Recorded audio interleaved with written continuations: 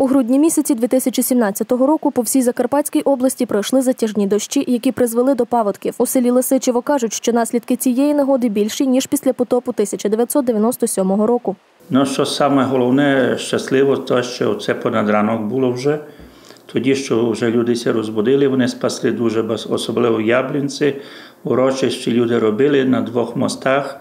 Вони їх, е, ну, як казати, своїми силами там витягали баграми дерева, які йшли кущі.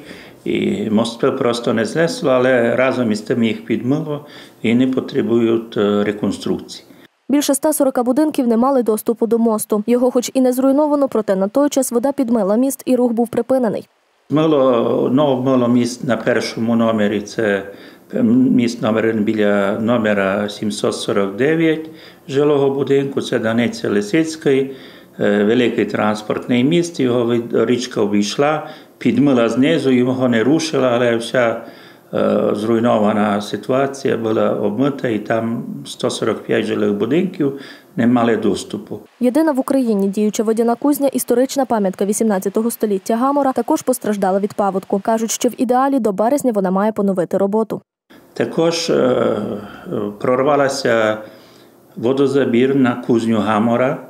Це вона отримувала таку, де йшла кузня Гамора, і в результаті того, що водозабірся прірвав, річка впала на півтора метра, руслося врізало, і змило там і рушився береукріплення, яке було побудовано у 2010 році. Водойми настільки вийшли з берегів, що зруйнували берегоукріплення. Того змито дорогу Гамора штація, ну, вона така була центральна дорога. Дорога в- річкася е, згори урвала, ну не річка, будемо казати, це як ручаї, і вони змили її до, до того, що прийшло до руйнації цього берегокріплення. Фінансування на усунення наслідків негоди від району поки що немає. Кошти поки що ніхто не виділяв нам. Е, Зараз це ми робимо своїми силами та організуємо. Нам допомагає зараз Довжанський держлісгосп. Він взяв трактор такий на гусеницях, і цей трактор е, йде е, робить. На місці роботи підприємець з Кушниці Лимак Василь Дмитрович дав свою техніку нам. Це так без грошей, все ми робимо на добрих началах.